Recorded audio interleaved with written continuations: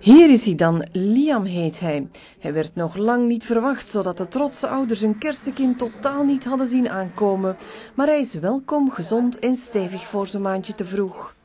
Hij weegt uh, 3 kilo 90 en hij is 50 centimeter groot. Dus uh, hij, het, is nog, het is toch wel een flinke. Mama Malika, papa Amin en driejarig broertje Nadir, ook jarig in december, hadden een kerstfeestje gepland. Maar toen kondigde Liam zich onverwachts aan. Ja, het is voor ons echt een verrassing, want het is eigenlijk uh, een maand uh, vroeger geboren.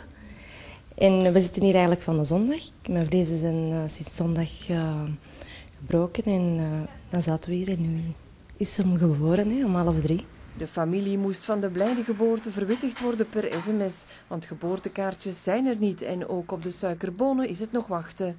Het is voor iedereen uh, kerstdag, dus uh, vandaag uh, werkt er niemand. Dus we zullen moeten afwachten. Hè. Het is een uitsteldag voor iedereen. morgen krijgen we pas ons suikerbonen en ons geboortekaartjes. Zonder kaartjes of bonen, Liam is in ieder geval een prachtig kerstcadeau.